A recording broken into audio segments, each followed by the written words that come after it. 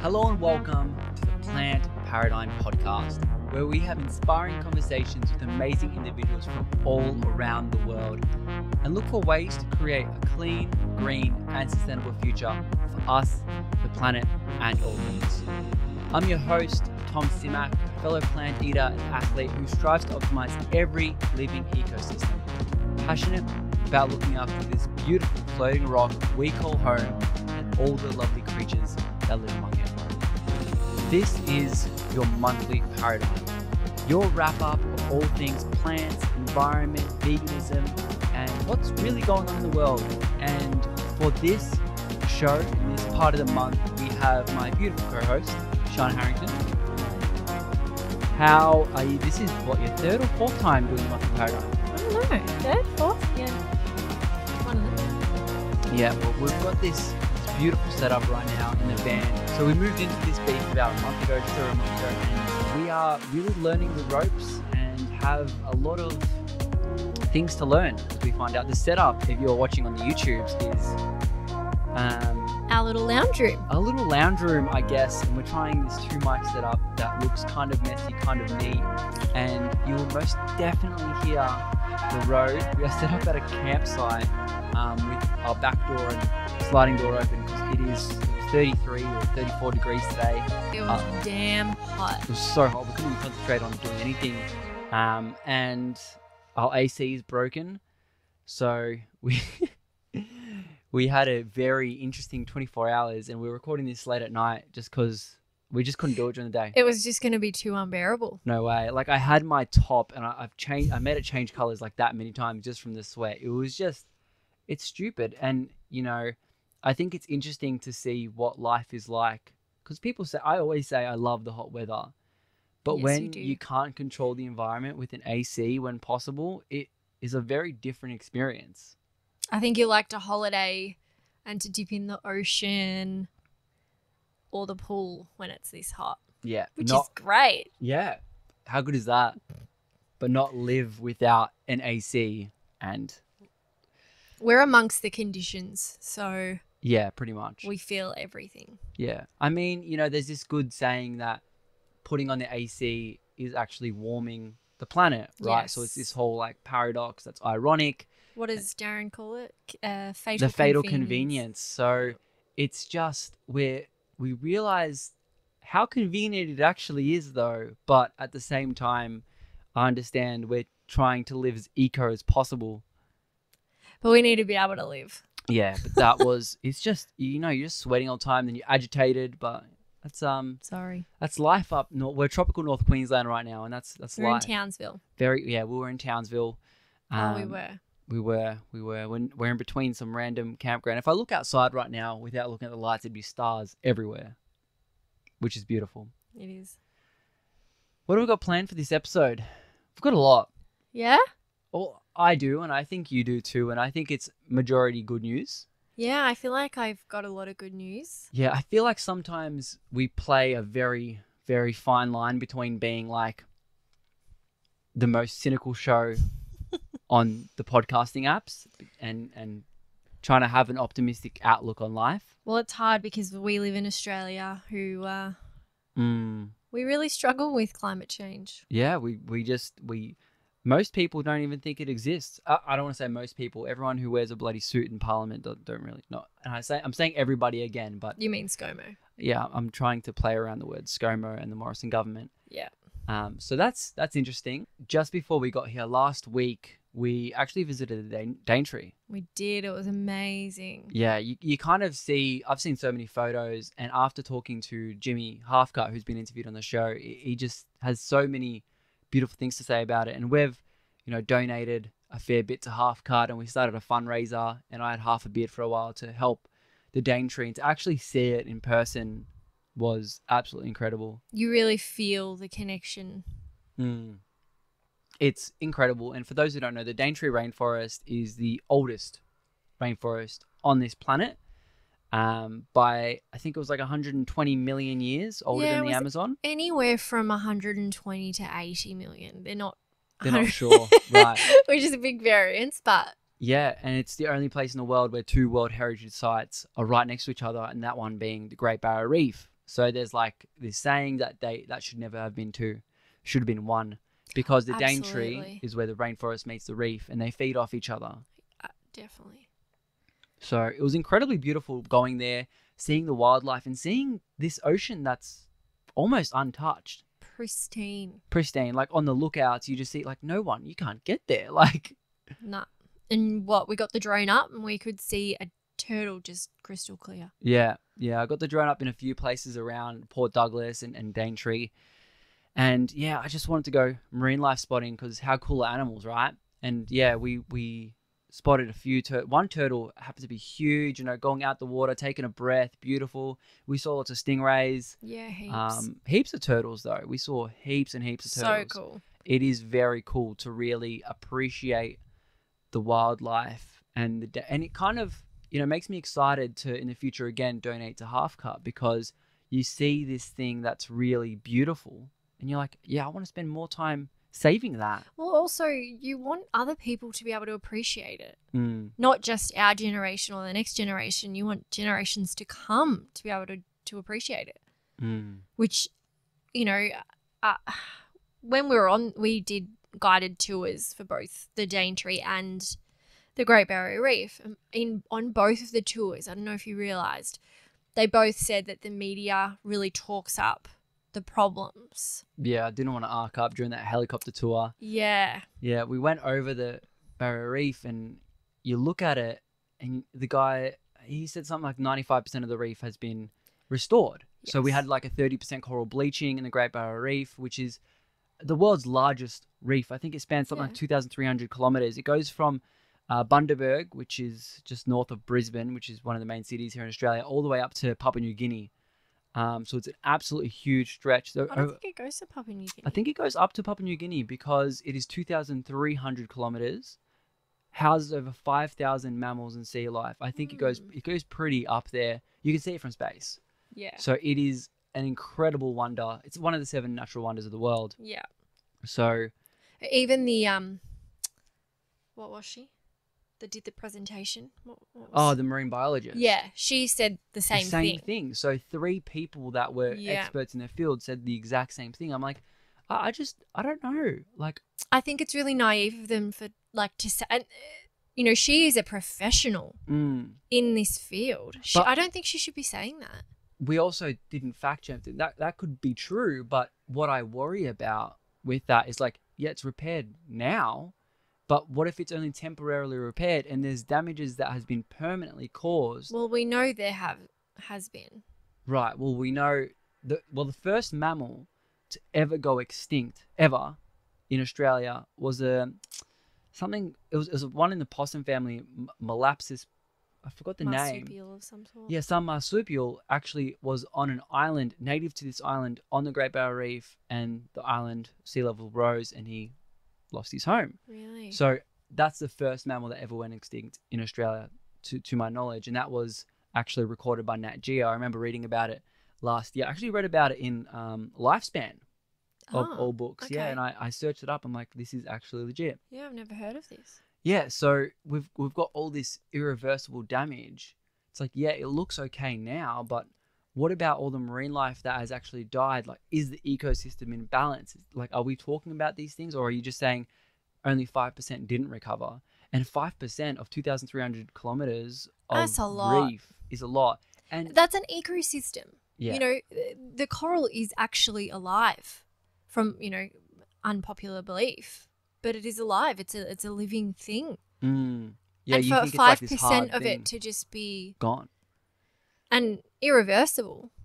Mm, Yeah, it's it's um really sad to think, and I, I really think if the media and I don't really we don't really watch mainstream no, we don't. news, so we don't Yeah. really know what the media is saying. But I think I agree. I think they should be saying how bad it is for Mm. people to be afraid and scared that, hey, it might not last. Let's make some changes. Yeah, absolutely. The, the la- we want we don't want the opposite. We don't want people to be thinking, Complacent. Okay, like, Yeah. it's all right. It's just five percent. Like Mm. it sounds like a small number, but that is a lot.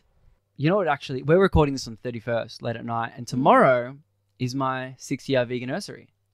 Whoa. Six years. So it's been a long journey. And it also is World Vegan Day. It, it is, yeah. World Vegan Day. And Where are we going to be? we're going to be in Airlie Beach. So let's Oh, try find At a night. Yeah, we'll look on Happy we'll, Cow. we'll try find a place to celebrate. Hmm. Um, and yeah, the, the people over at Veganeasy reached out to see if I could just talk about them for a bit. And I really like Veganeasy as a, I guess they're almost like a resource. Um, when I first started doing activism, I would give out Veganeasy books on the street. Wow. And they had like recipes, they had uh, testimonials from Australian bodybuilders. So I didn't know they've been going for that long. Yeah, I, I had no idea they did more than booklets. Yeah, right. Um, yeah, the guys over there reached out just to talk about it. So every November they actually do a 30 day vegan challenge. Right. They well, this kind of kicked off my veganism, didn't it? Well, no, this was Veganuary. Yeah, I know, but But something yeah, like something like this, exactly like a 30 day challenge. So um, for everyone who actually joins on, so this will be released tomorrow on the first. So it's a full 30 day of resources getting emailed every day. You can join their Facebook groups as well, which we know Facebook groups are super supportive. People Yeah. asking questions. You have access to mentors. So if you're having problem like giving up dairy or you don't know what um, how to switch up your meals to make sure you're still getting adequate nutrition or you just you have some common questions it could be about protein iron b12 how to supplement any anything like that And don't feel silly asking these questions either. No. Someone else will have the same question. So you putting it out there is just going to help someone else as well. for sure yeah it's it's especially good in november one of the ambassadors actually izzy bat doyle who, which we've who have had on the show and um, just a reminder for those who actually don't do it this month you can sign up anytime and they do 30 day challenges Oh, where they can email. They're just they're pumping it out now to celebrate world vegan day Cool. and also to celebrate the fact that Australian meat consumption is down 5.5%. Wow. Yeah, so the rise of the flexitarians. Much to your surprise. I was shocked. In fact, when he emailed me that, um, I was like, "Where'd you get this start?" Yeah. That's. I honestly said, "Oh, hey, sounds great. Where'd you get this? What's going on?" Where's this study? no, I and I I found it and I downloaded the spreadsheet and yeah, our production is up, but Mhm. our consumption is down. that's that's excellent. Yeah, We just need to work on production. Yeah. But we'll start at start at consumption. I'll take that as a win. Yeah. Well, speaking of consumption, Amsterdam is being urged to reduce their plant their sorry, their meat consumption by 50% Whoa, by 2030. that's a lot. Huge. Fifty percent. How are they? Do you know they're planning on doing that? No, so there's a few things that they've got in place and this is a lot to do with climate change, Mhm. but I think it's mostly to do with their health boom. So they're really trying to boost the health of all of their residents. Yeah. There was a stat that they put out. Recent studies indicate that 62% of adults across the Netherlands will be overweight by 2040. Sixty-two percent. Yeah. That's that's quite high. Very high, especially Considering um, like they bike everywhere. Correct. Yeah. So it would be like it must their diet must be just horrendous at the moment. And of course you've got to think about it's the younger generation that are going to be Mm. older by 2040. So it's starting at the younger age, which is why the town planner is on board with banning all the fast food around schools.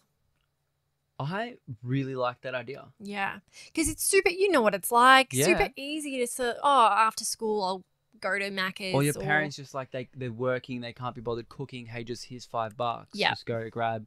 after school, just go get something. That's Yeah. really cool. So the leaders in the town planner are really working towards that. Look, they're looking at actually banning it completely. They're not quite there yet. Right. Um, but yeah, that's that's the whole reason they're really trying to push a, a health boost. Like, what's the US overweight? Oh, their overweight is probably pushing seventy percent. Yeah. I think I it was think- 35, 40 Isn't Australia obese. just as bad? Yeah, we have we actually have worse overweight numbers in Australia, but we have nowhere near as much obese. Yeah. Okay. Um, but actually, I'm really thankful you brought up fast food. If you if you're done with your point there, and that was a very impressive segue that you thank you. you used. I there's a study that actually came out on the 27th of October. So this is fresh. Freshy. This is really fresh. And I've got to be honest, we obviously on this podcast talk a lot about environment. And when it comes to health, it's something that's definitely deserves its own highlight. And this has got to be one of the most atrociously scary health studies that I've read that everyone needs to know, vegans alike. This isn't, look, the fact that I'm re- really scared. red, you should be. The fact that red meat is linked to cardiovascular disease is scary enough, right? These saturated fat, cholesterol, all these, all this stuff's incredibly important to talk about. However, there was a recent study um, that looked at. Well, firstly, no one thinks fast food is healthy, No. right? McDonald's, Burger You King, are- Pizza Hut. Kidding yourself if you do. No, no chance in hell. But what if I told you it's worse than what we think? I wouldn't be surprised to be honest. So But tell us. get this. I'm in the process of reading the whole paper.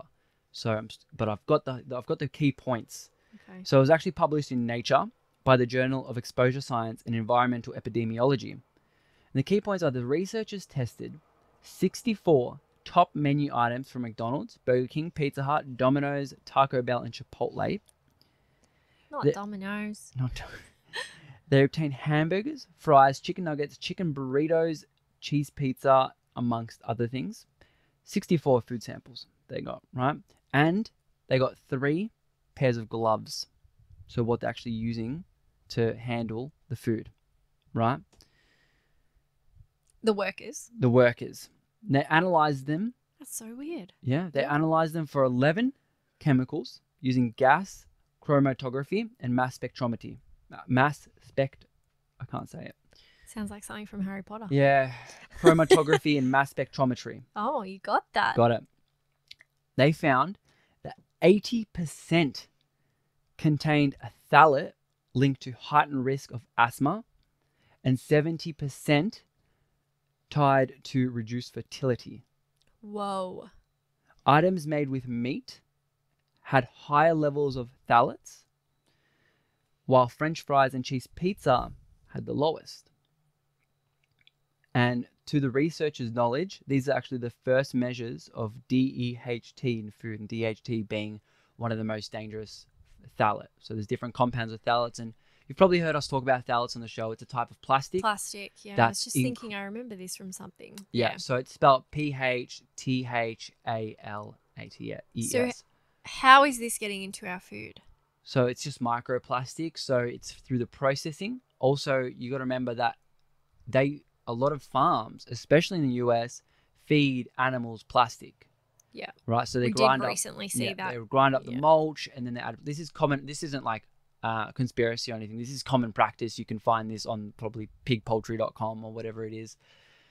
How horrendous. Phthalates and, and the gloves. They're leaking these plastics because obviously heat because it's Mm. petroleum, right? So heat's extracting this plastic into the food that you then ingest.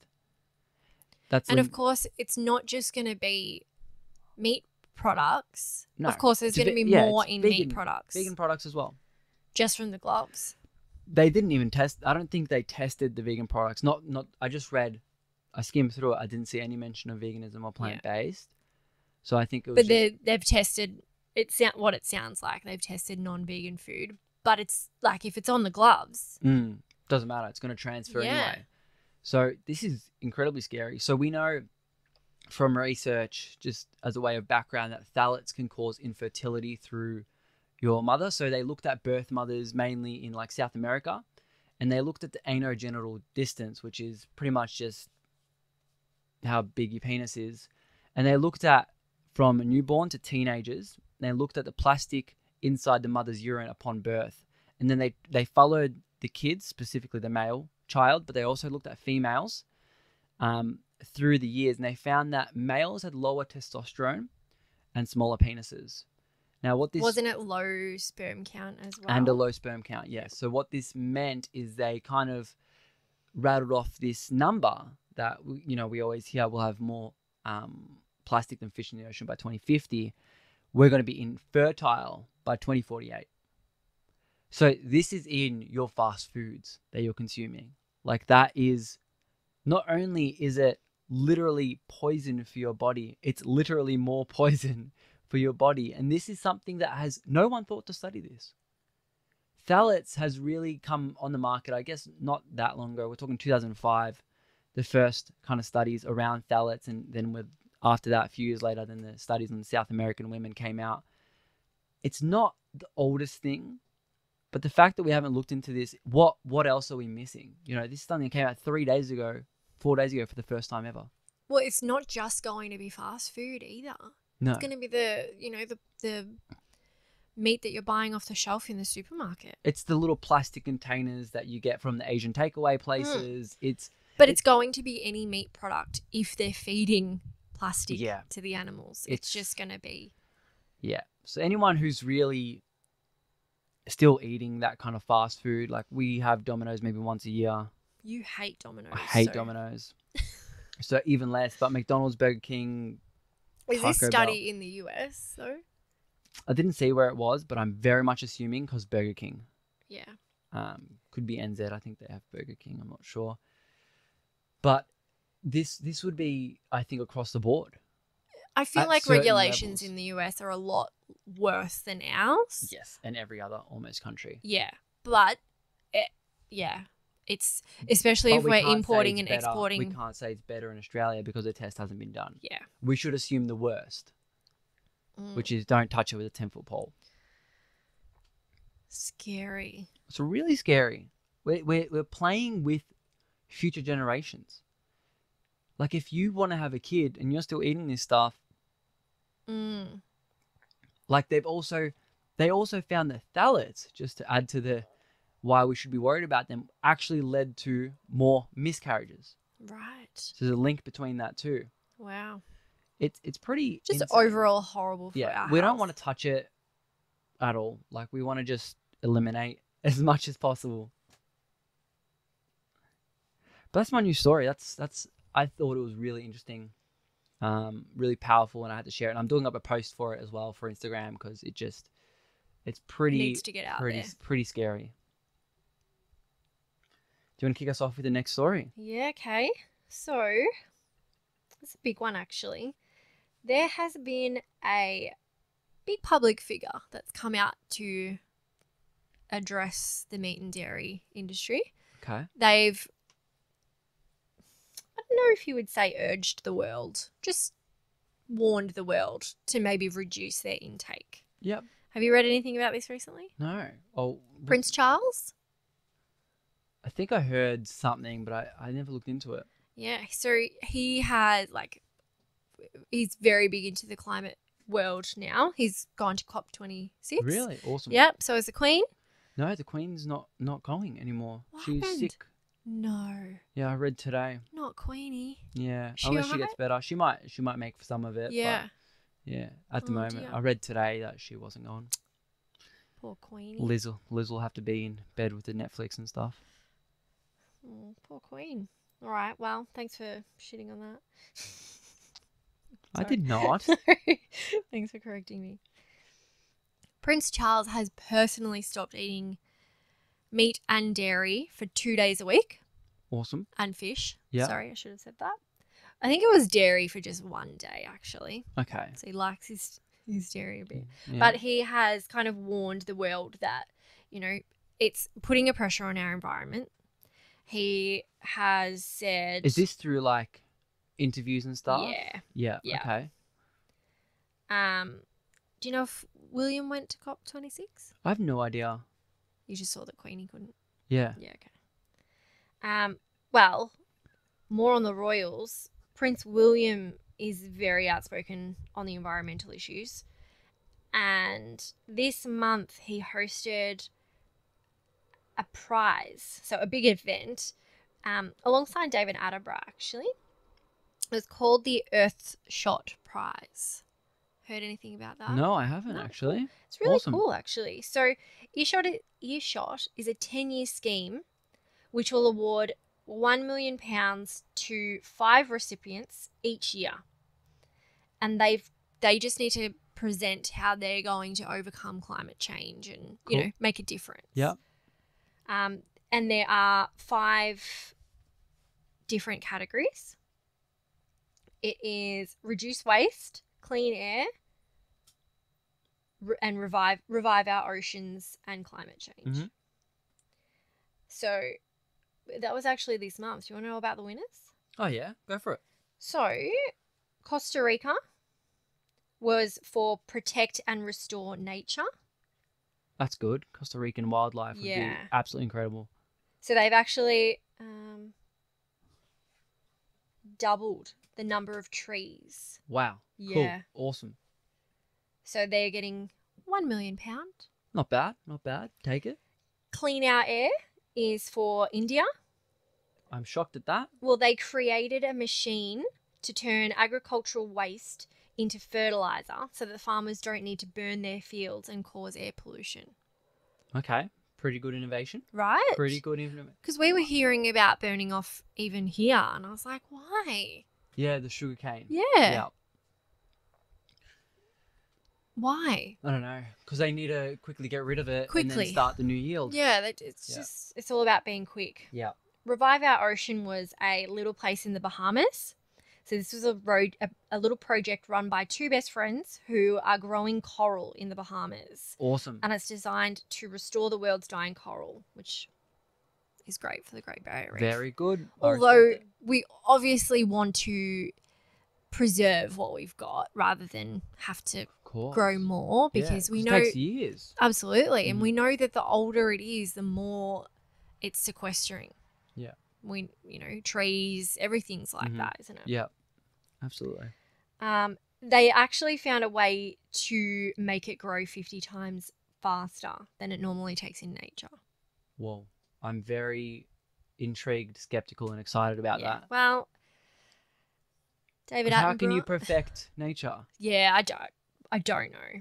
Yeah. Okay. Well, I hope it is a good solution. Yeah. Yeah. Well, it, apparently it had to do with the special tanks that they had, Cool. they created. Awesome.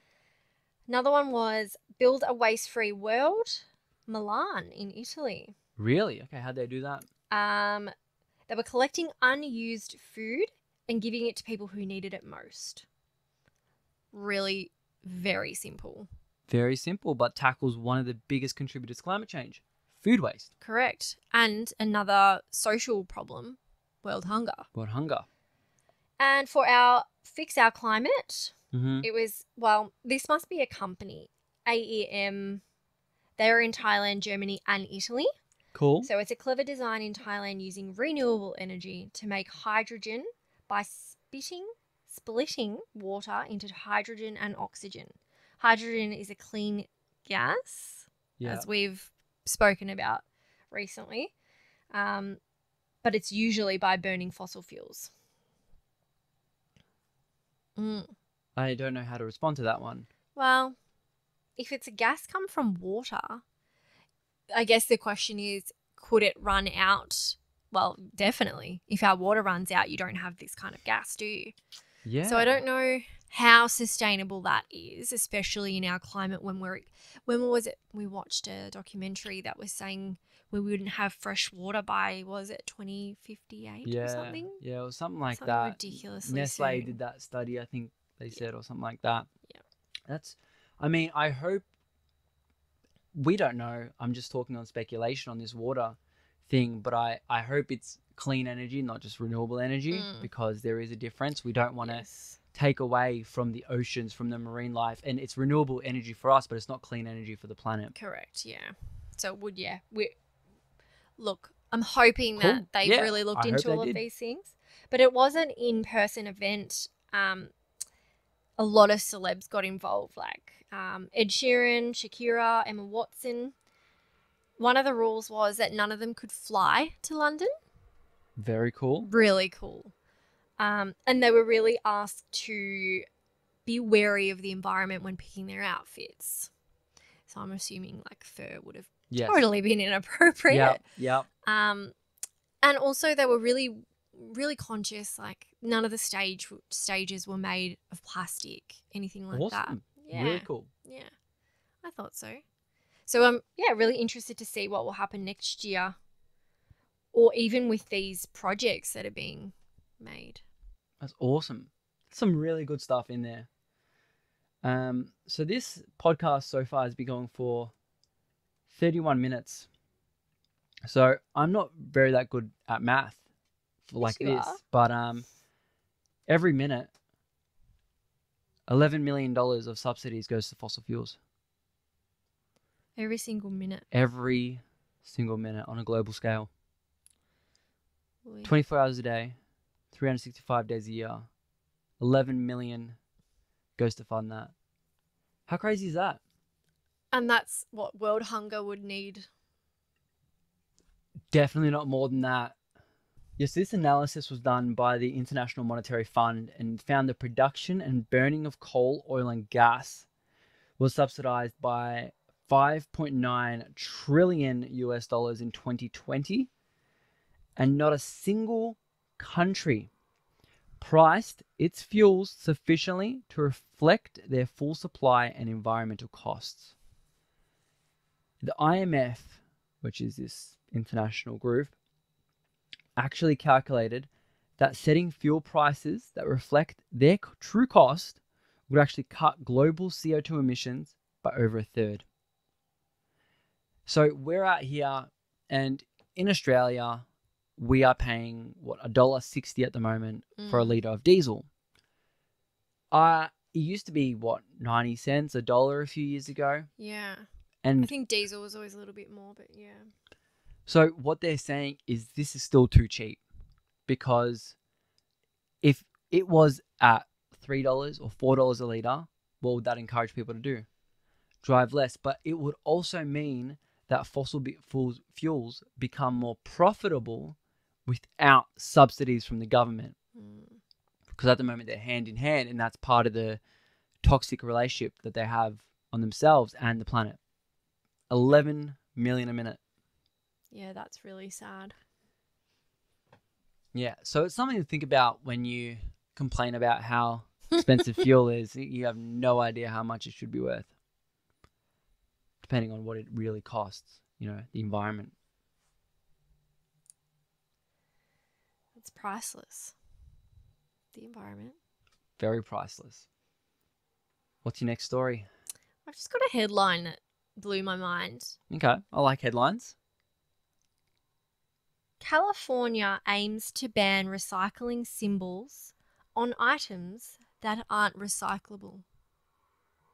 Why? Please explain. Why are there recyclable icons on something that's not recyclable? Exactly. Is this like that thing in the US where you could put organic on every anything and it's not regulated? Like you can find on on shelves organic gluten free water. You know, like people. It's a sign of this- greenwashing. I, I'm, it? I'm. It is exactly greenwashing, and I'm not exaggerating about that water. This is an actual product that I've seen photos of. Um, it's pretty, pretty incredible that something like that could even get away with because obviously it is exactly greenwashing. It's like the consumer will buy product that's recyclable. It doesn't have to be recyclable. We just have to put that little symbol. How insane. But we watched a documentary on Californian recycling. And they said how good it was. It was really good. you know what it was? I think it was the food. The food from like San Francisco. They didn't waste it. Like it went into this scrap yard that then went to like the farms or something. I, know. honestly can't remember. I can't remember what doco it was, but I remember thinking if Wow, that's really California cool. can do it, Mm. we can do it.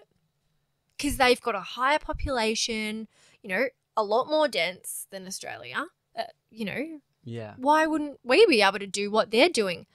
Uh, We really need to find that doco, but Mm. obviously they're not doing so great. Well, I, I mean, I've got more questions than the headline could answer, but we also don't know how much that could be. It could be one in a thousand products, but it could be a hundred in two hundred products. Yeah. Does it doesn't really matter, but it doesn't really show the gravity of the situation. But nothing should ever be like that, and I don't know if that's the fault of the U.S. regulation system or if a state should have.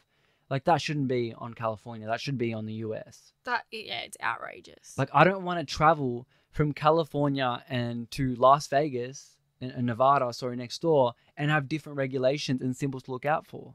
Who's who's why you why is this difficult for the consumer? Well, it, It we be- know how difficult it is even here. Yeah. Every council, shire, whatever, has their Mm. own recycling rules. That's one of the biggest problems I find with recycling. yeah. One, availability, and B, how different it is everywhere based on funding and what facilities these councils or jurisdictions have. It's yeah, it's really difficult, especially moving interstate.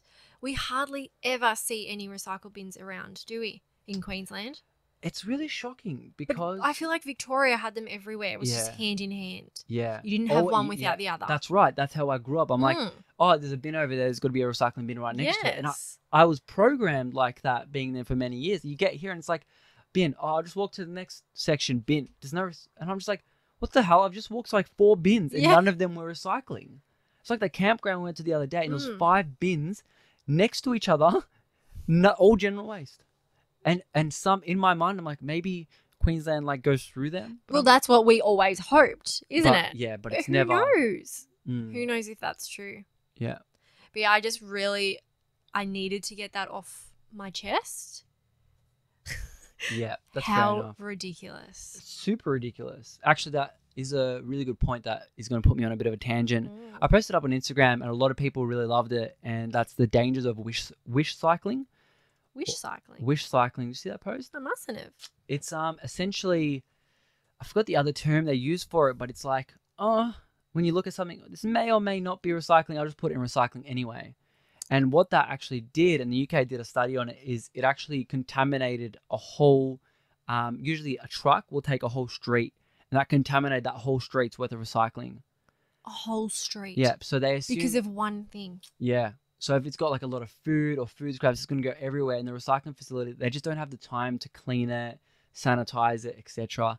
And so the the headline around this whole study and thought was, "Can you recycle a pizza box?" Yeah. Because amidst the the crisis, the COVID crisis, a lot of people were getting pizza takeaway, right? me. Love Fine.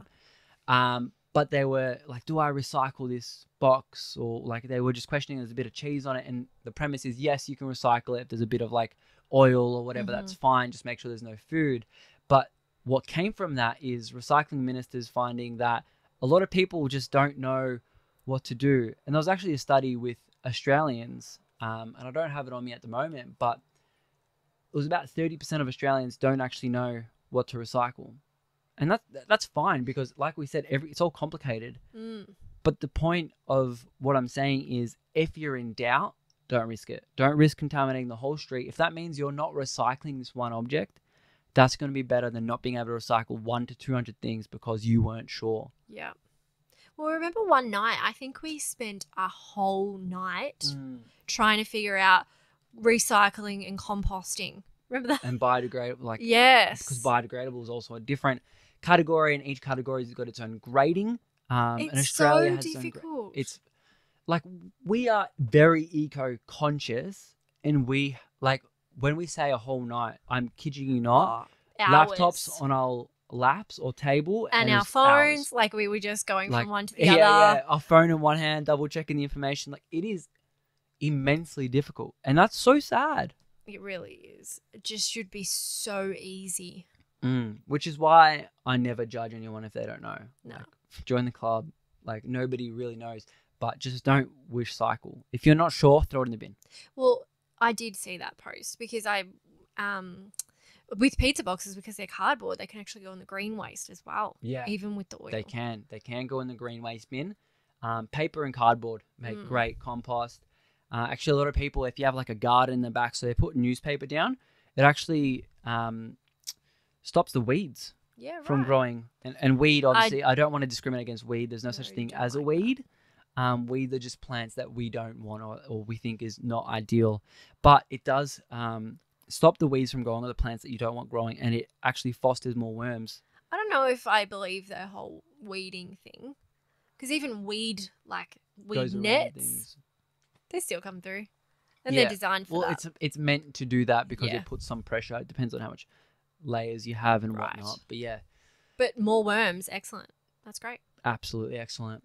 So more on Australia, Please, Western Australia, which we haven't been to yet, have we? no, haven't been to F S A eh, W A. One of them. I haven't been to WA yet. now has 2 million hectares of native forest protected. Two million hectares. Can you even fathom how big that is? That's incredibly, Huge. incredibly huge.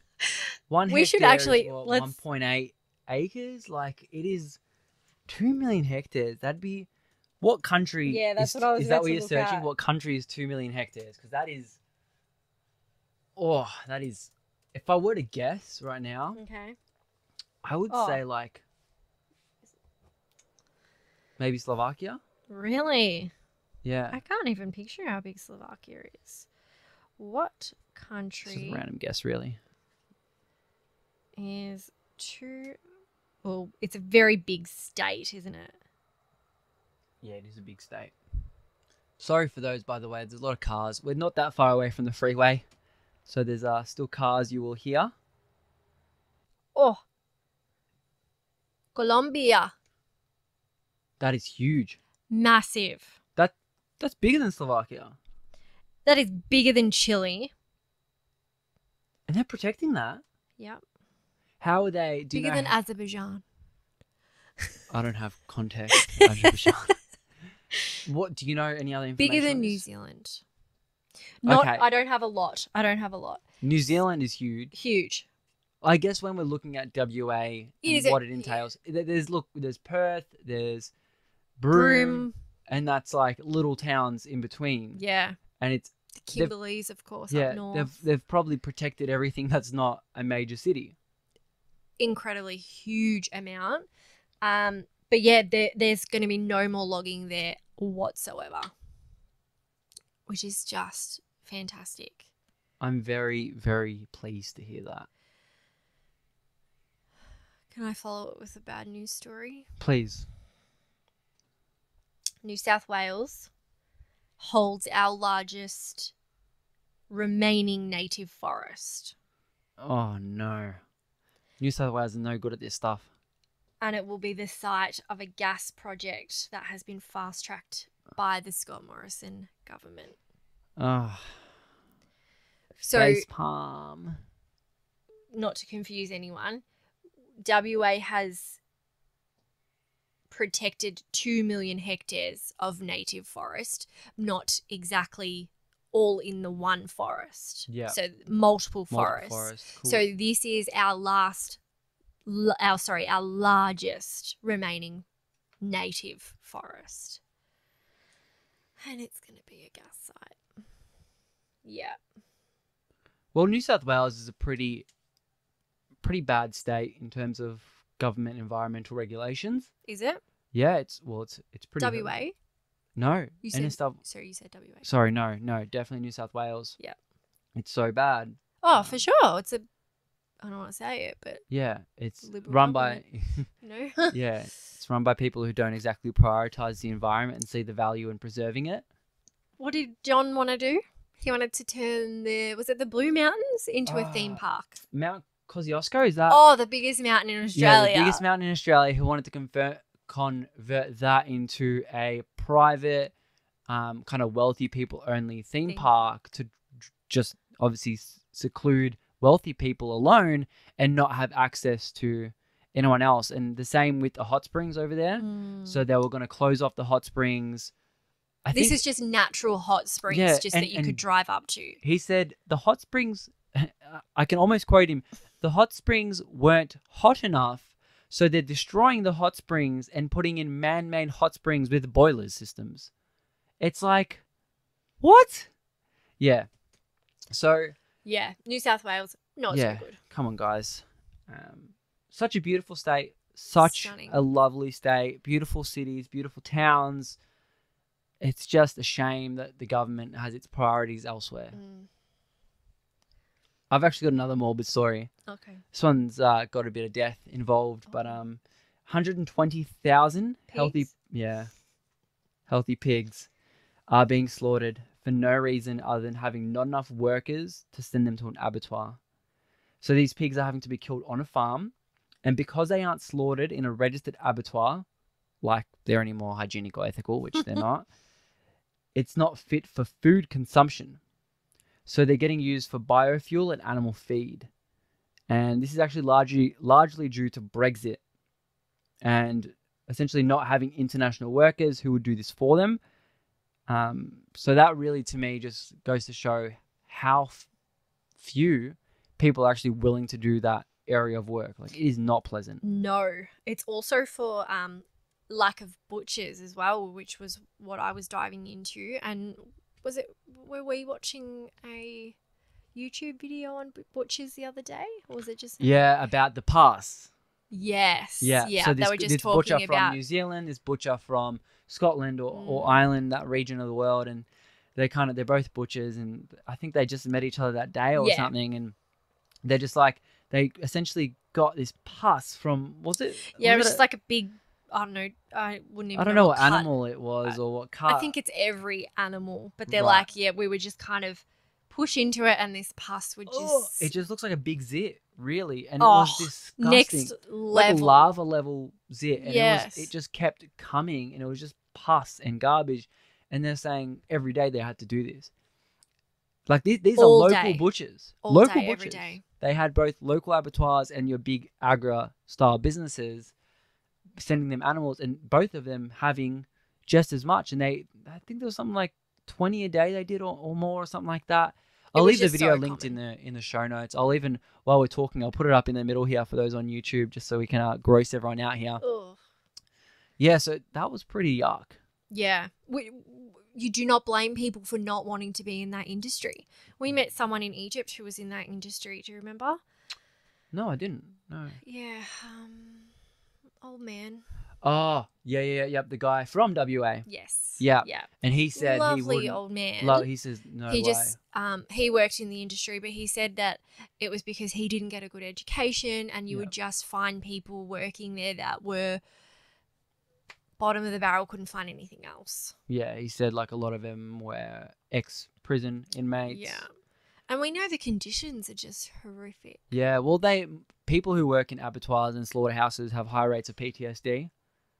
do Um, not blame them No, it's actually it's actually really sad how little they get looked after. Which I mean, wasn't there a stage where some companies were making them wear adult Diapers, nappies yeah. yeah yeah, that was in the US. was it horrendous Yep, in South America, I believe. So it was, it was actually really, really bad. but don't think that's just there No, it- you know, we've what was it? Um, Dominion was a s- Victorian.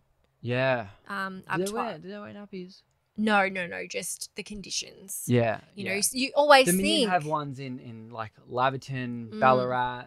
you um, you just always think, yeah, no, this doesn't happen near here. Yeah. Like we've been driving around the Daintree and we've seen cows just on hills and Yeah, exactly what you picture. yeah, isn't it nice? The cows are Mm. just living this free life, but that's not. They're not the cows that you're.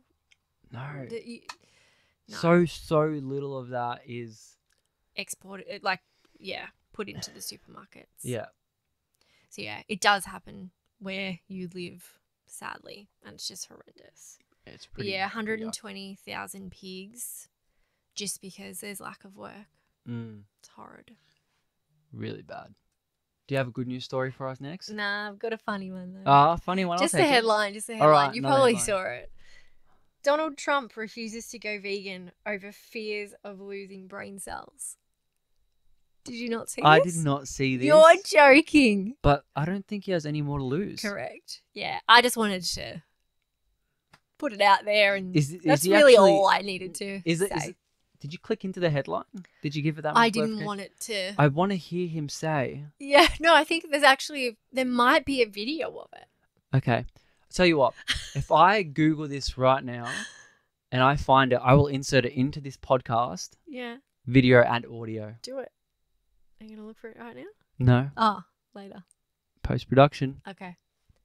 But yeah, I'm. There might be. I'm not sure. I just really wanted to put it out there because everyone goes straight to well, what brain cells? and like, where have you been, Donald? Where have you been? and now you come out and say this. Like, Yeah, it's where funny. have you been? It's very funny. Anyway. We mentioned California earlier on. Mm. You know what else happened there this month? Tell me Oil spill. again. Yeah. This one was a big boy. Um, 3,000 barrels worth of oil spilt off the coast of Huntington Beach. from an offshore rig. So they had dead fish and birds washing up on their shore.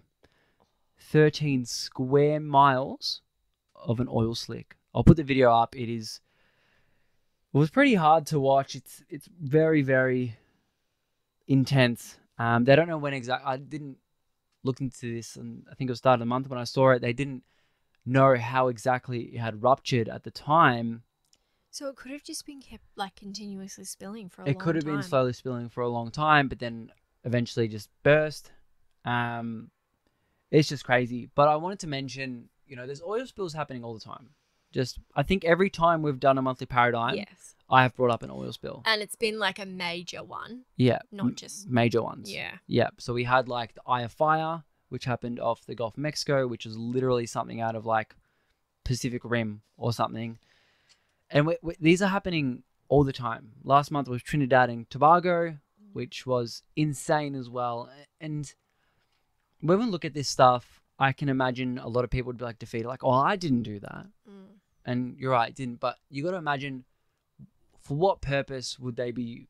I guess drilling for these fossil fuels. So, as an individual action, try to stay away from plastic because then they plastic is made from petroleum. So that's something we can do immediately today, tomorrow, yesterday, is to stop using plastic, use alternatives. We've got our metal drink bottle here. Um, we to store our fruit, it's all just in baskets, which is like a cotton. Yeah, I think it's organic cotton. hundred percent organic cotton. It's you don't need bags when you shop. These kinds of things, and also consider walking, biking, taking public transport. All these things will help lower the demand, and then the governments can give as many subsidies as they want. But if people aren't purchasing it, it's going to be a dead end road. So that's just a little thing I wanted to finish on after reading about the spill. Yeah, that's. I love hearing problems and then the solution with it mm. because sometimes you, just you do you feel so defeated. You're like, well, I'm not purchasing Yeah. oil, Yeah. so why would I need? You know, we just don't know that we're purchasing it. So yeah, Yeah. good exactly. Thank. Indirectly. Well, in the medical field, there has been a little breakthrough. Oh, I like breakthroughs. Mm, I don't know if you'll like this one. So, in the US, there was a procedure done. A, cons- uh, a surgeon conducted a transplant with a pig's kidney into a human. Yes. Have you heard about that? No, I haven't, but I do. I had heard that the pigs, some of the pigs' organs are possible Yeah. to transplant. Well, they've tried it a few times, probably more than we would even know, Mm-hmm. but this time it didn't reject it. So the human body didn't reject it, which means like they've worked on this kidney, it's genetically formed. They've done, you know, medical alterations to make sure it doesn't Mm-hmm. reject. Um, it comes with no surprise that there is a shortage of organ donors, right? This is why they're like outsourcing it to animals. Does that surprise you at all? No. Nah. I feel like it's just a common thing. Like there's shortage of blood, there's shortage of this. So we need to look for other solutions. So Yep. of course there's controversy around it. What do you how do you stand there? Um, it's hard because really, what the question comes down to is what life is more valuable, Mm. and I'm I'm not going to say that a pig's life is less valuable than a human's life. I think they are equal in a lot of rights. However, I'm optimistic that this works because if we can create literal animal flesh in a lab, we can also create animal livers, be Yeah. that pig or human.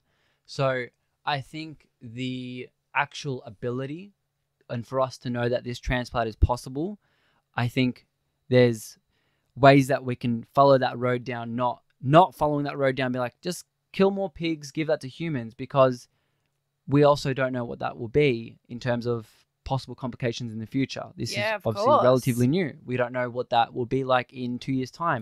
What does Yeah. that do to your lifespan? All these Well, questions. Another thing to note, the, the human body that they moved it into was actually a brain dead Yeah. person that was on life support. So as Yep. soon as they were taken off life support, they were they were dead. Um, they their family just gave them permission to do this testing. They obviously tested over like three or four days, and the Mhm. kidney function went. It, it, it improved.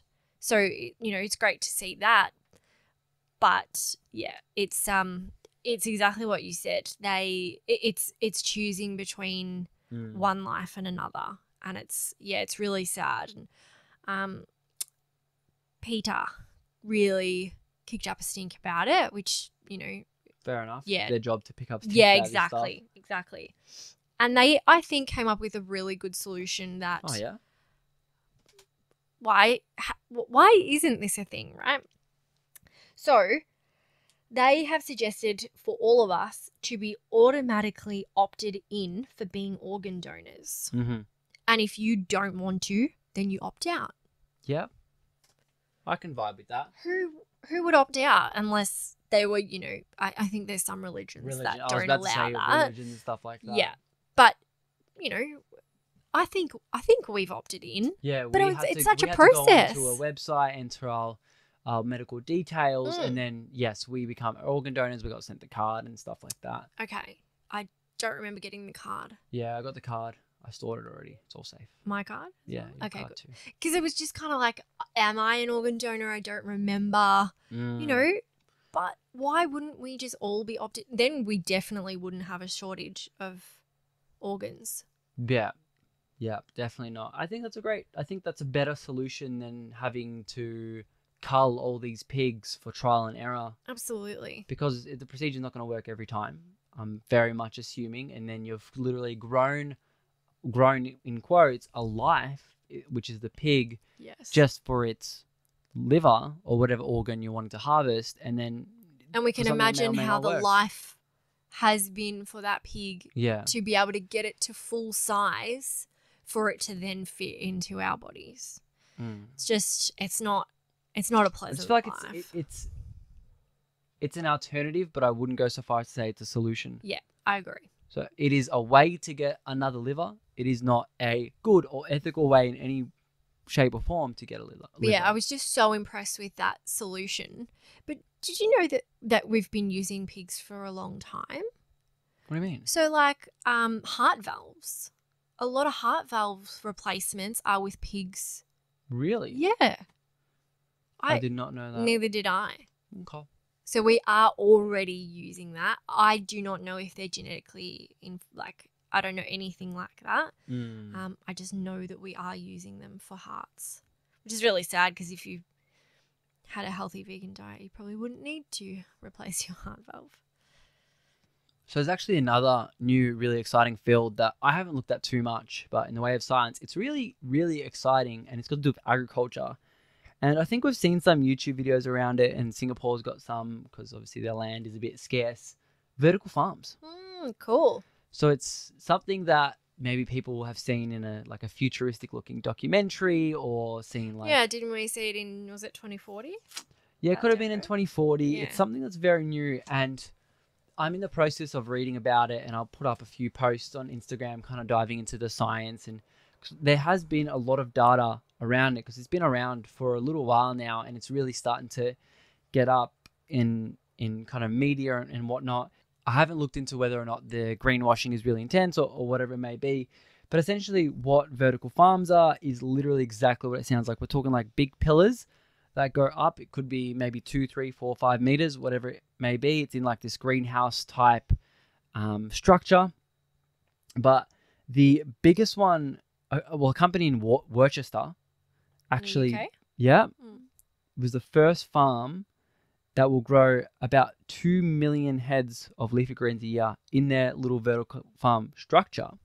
Now, the reason that's really cool is because the size of the land that they have, that yield of 2 million heads is actually four times more than any other um, like non-vertical farm could produce. Wow, that's a lot.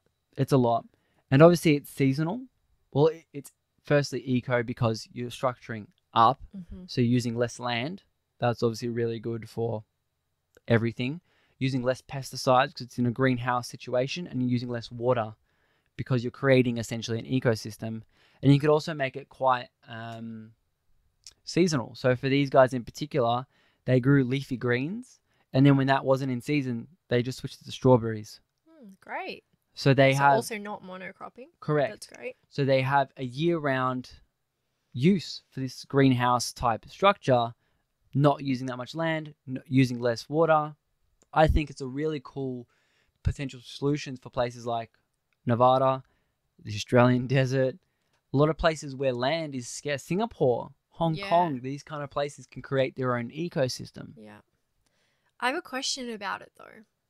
So we know that stress on plants Mm. give it More polyphenols. which are really healthy for us to digest. Of course, they're not going to have that because they're under perfect conditions. Correct. So we're still going to have to eat or like normally grown on, you know, outdoor Correct. food. So it's not a complete solution, but it, it's it's, It's a, a, it's a step because it's just less land. mm, Um, obviously, I would always maybe there's a way to make it organic. yeah. I'm not sure whether this would even affect the polyphenols. It- Yeah. It, could be just as much of a polyphenol, but the fact that it has less pesticides, which we know affects of, absolutely. in, of fertility rates, we know it affects. Um, obviously, in the amount that we consume, it generally is quite harmless, but it can have some effects that we shouldn't ignore. Um, so it definitely would. I wouldn't pin it as a final solution, but I'd say it's a really nice innovation that can come in handy in certain situations. Yeah. And of course, the food is still healthy because it's vegetables and Yeah. it's fruit. It's just those um poly- polyphenols for longevity, really, isn't it? Yeah, Mm. correct. Well, It's always like when compared to what. And Yeah. if you're always eating a variety, I don't think it's something to be worried about. Yeah. Because I'd rather be eating a bunch of genetically modified organisms than eating non-genetically modified organisms, but it's crap. Yeah. I guess that's um something we hope the future doesn't have to rely on. It's Correct. just a, a stepping stone for those smaller countries that, you know, would have to import everything and then greenhouse gases go up hugely anyway. Cool. Thanks. You're welcome. Well, on vegetables and all of those good things, Yep. I have a little story about mushrooms. Awesome. This still wouldn't make me eat them though. we got a pizza, was it last night? Yeah. It was full of mushrooms. It was Heaven. like, yeah, no, not for me. All right, there was a new study that shows that mushrooms have been found to benefit mental health Mhm. and lower risks of depression. I believe both those things. Yeah.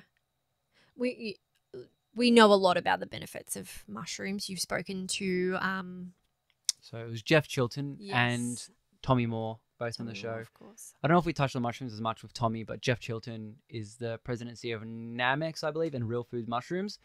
So they He was very knowledgeable. super knowledgeable on mushrooms. If you guys like mushrooms, definitely listen to that episode. Yeah.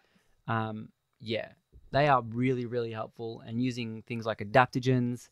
Um, so things like reishi, chaga, ashwagandha, lion's mane, all these different mushrooms that have really, really good effects on your body, and they all do different things. So you can kind of cater it almost like a Chinese herb way, but Mm. just using natural, organic mushrooms. So the reason that it does lower your risks of depression Mhm. is because mushrooms contain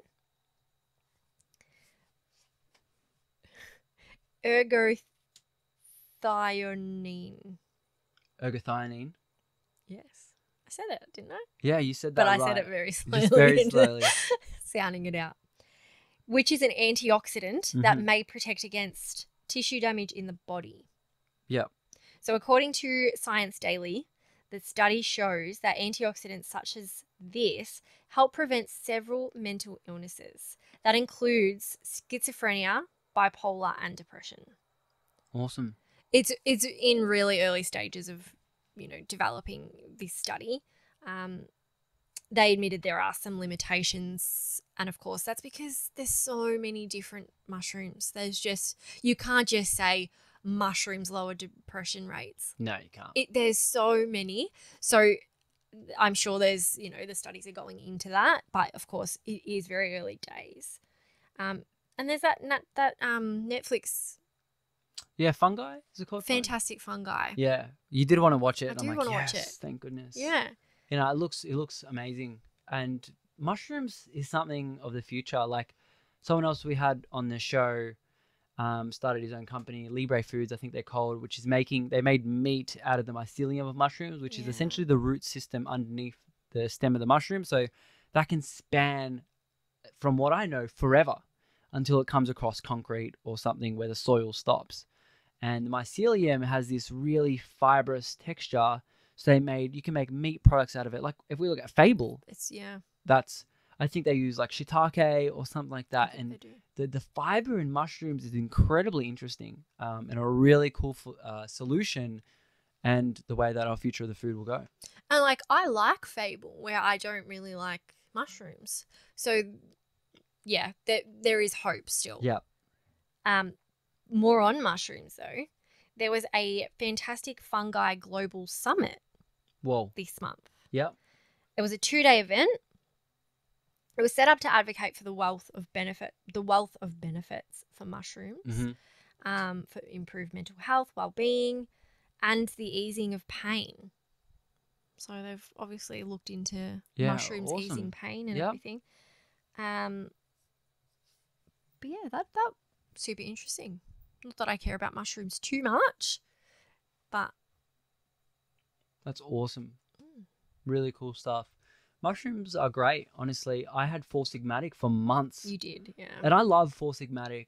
Um, I think the mushroom in Four Sigmatic is a little bit weak, um, obviously because mushrooms are bitter. You know, they Yeah. have certain textures, and what they've done, It needs to be enjoyable to. yeah. So what they've done with Four Sigmatic is add things like, um, generally they're they're pretty healthy, they're organic, but Mm. they add like cinnamon, I think like nutmeg. Ew, ew. So you you can't really taste the mushroom, but it is quite nice. Like their lion's made. Not that we're affiliated with them, but I actually really enjoyed their product Mm. if you like, they had like mushroom hot choc. They had um the coffee. They had heaps of things going they on. did. Yeah, You spent a lot at Yeah. one stage. yeah, yeah. I was spending. It wasn't too much. Maybe 30, 40 bucks a month on their products. Yeah, the only mushrooms I'm taking at the moment is is it Nootropic, Neurotech, Neurotech maybe. Um, they're a local Brisbane-based company. I take their like hot choc sometimes at night. Mm. just one serving of that is really meant to have you deep have i guess let you have a deep sleep which is quite nice but yeah i recommend people trying out different forms and just seeing how that works for them So cool. Yeah. What else you got for us? well we did watch a documentary this month We did. so we got early access to the amazing eating our way to extinction um incredible incredible documentary what was your thoughts on the on the doco as a whole I really liked it. I thought it wasn't just like a lot of the times I'll come away with, you know, who's even going to watch this? And I think by the title, it will turn a lot of people off. Um, and like we discussed, we think it's for more plant curious people that Mm. would be more interested in watching it. But I think the actual documentary itself is really targeted to a wider, like wider variety of people, because they really didn't say stop eating meat. It was re- a lot of reduce, reduce, reduce. Mm. they definitely mentioned they mentioned plant-based a few times Oh, for sure. Yeah. Yeah. I thought it, I thought it was really bang on. What I really like about what they said in there, it really resonated with me. It's climate science, and this is exactly what we we're talking about the Great Barrier Reef. Climate science is conservative, Mm.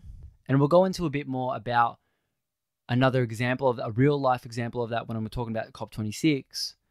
But it is conservative. You think we're like exaggerating all this stuff, but no, it is the exact opposite. Mm. Yeah. Yeah, I thought it was a really good documentary. I would watch it again.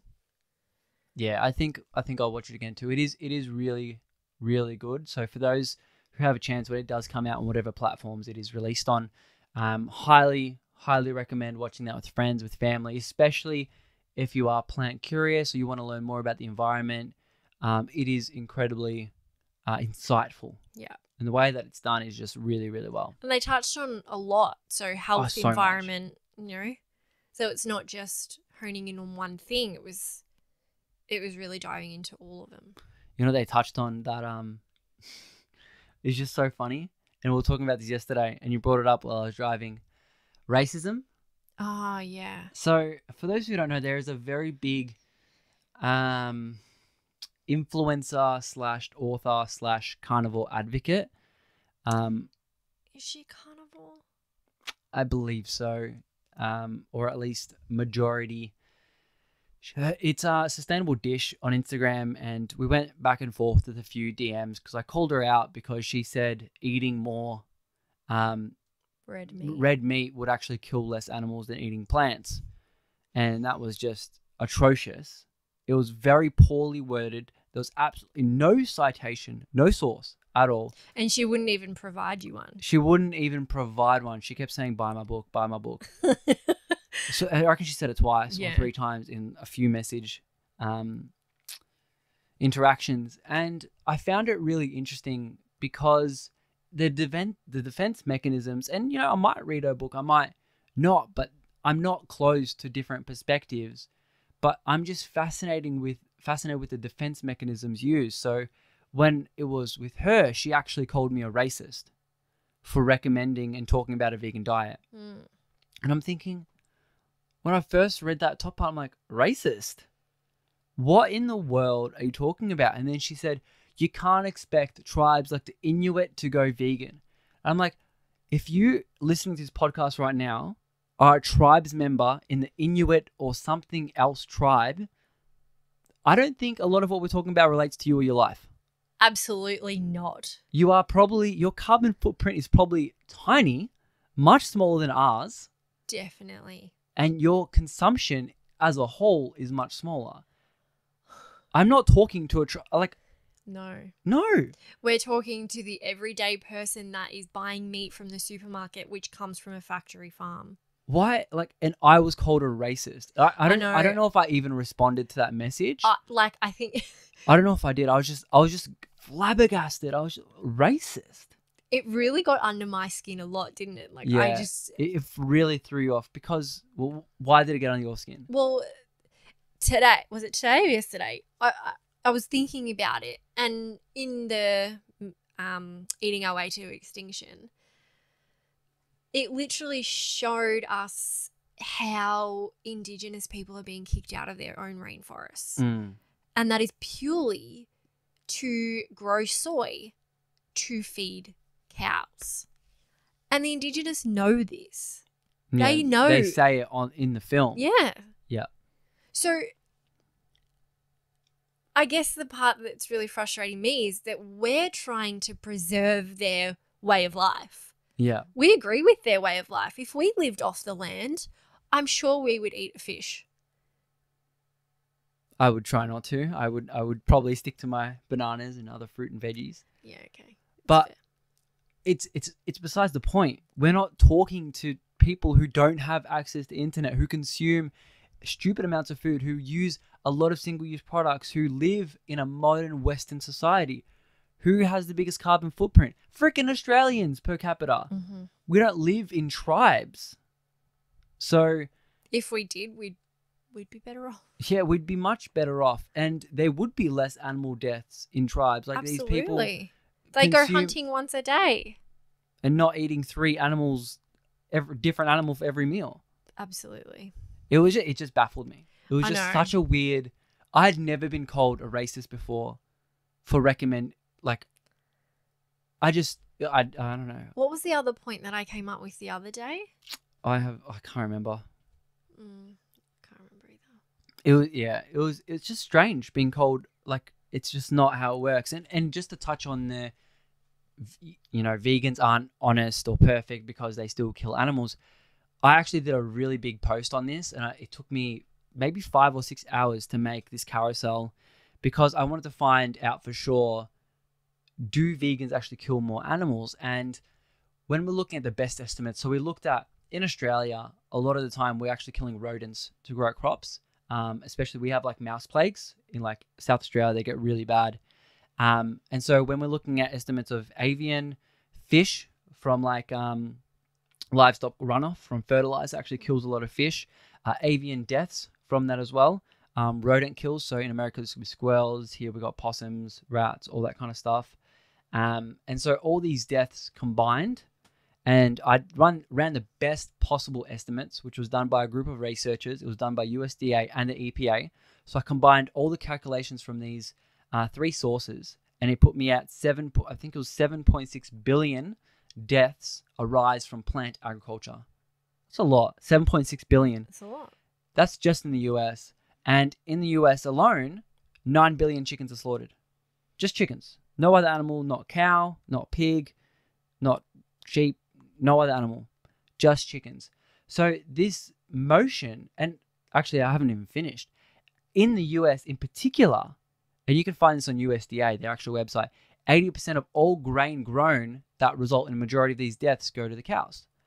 So not only is that 7.6 billion plants, but it's actually fed to the animals in majority.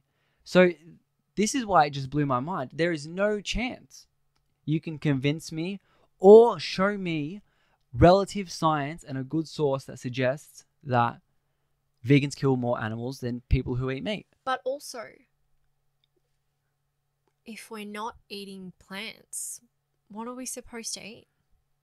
The air. meat. Because if you don't eat plants, just eat more meat. Eat all meat. Eat carnivore diet.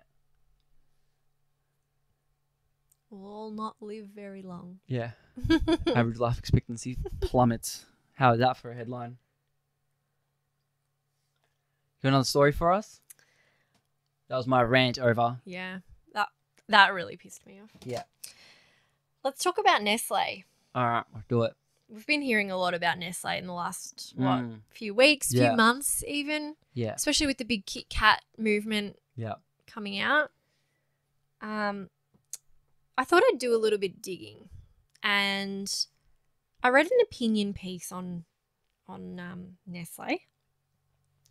Their conclusion was Nestle has shown time and time again that they have very few ethics and little interest in the real social responsibility. From promoting their formula to uneducated African women, to lying about production dates, to using water without a permit. They've often gone the extra mile to make an extra profit, even when the extra mile meant hurting people, directly or indirectly. I didn't know a lot about Nestle's background, um, but in this article, they went as far back as 1911. Wow. Yeah. And that was about the baby formula that I mentioned. Um, Mm-hmm. Nestle left cities dried up or left them with contaminated water because they are the biggest bottled water company in the world. And that was leaving cities in like Pakistan, which already has poor water, Yeah. completely contaminated. It, you just the water was no longer drinkable. And that's not even mentioning the um oh actually as well speaking of water they were also using water reserves from Flint, Michigan. What? Flint, Michigan. Yeah, right. That's how bad this is. We know how bad their water Mm. situation is. Is And- that? I wonder if that's why. I think it's Nestle that deliver bottled water every day to them. They must be guilt. Must be. Must be serious guilt. But that's not even mentioning like the child labor, the abuse, the trafficking that was also mentioned as late as 2009. Right. So I know they got a new CEO in 2017. And since then, we've been hearing good things. They've been bringing out plant based options. Yeah. Um, the Kit Kat, I think, is a new shrimp that they've brought out. and they are trying to reduce their greenhouse emissions. That's not the only reason they're actually going in a plant based direction. Can you guess why? Money. Mm, Yeah. yeah. So they're predicting that, you know, plant based is going to be on the rise and they will, they're foreseeing about what companies going up about 400%. So they want numbers. they want a pie of that. So this is something that the new CEO said. We think less meat and dairy is good for the planet, but it's also good for diet and health. And it is also a big commercial opportunity. So he's aware that these are all factors. Yes, it's a good thing for people's health, it's great for the environment, and also for our pockets. So I don't know. I don't I- think that's a bad thing. No, of course not. I think Of that's of course not. Every company wants to be profitable. correct. I just, it's so sad that it has been at the misfortune of Mm. so many people. And for so many years. And I, I really didn't even dive into a lot of it. Like the Yeah, baby formula, that like- really tweaked my interest for some reason. Um, I, I don't love the company. The amount of plastic that they are producing is ridiculous. Mm. So it's just I, I can never really be on the level with that company. Yeah. Um, but it is nice to hear that they are caring, even if it's just for their own pockets reason, Yeah. about the environment. Yeah, I'll take it. Um, but obviously, we we appreciate every step, but we understand the bigger the company, the bigger the responsibility. Mm.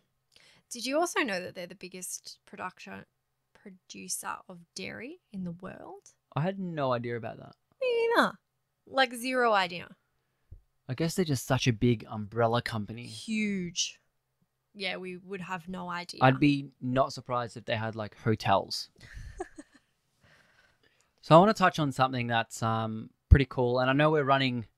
It's a bit of a longer episode, about an hour and a half in now. So um, I want to talk about a really big topic, but I shouldn't spend too much time on it.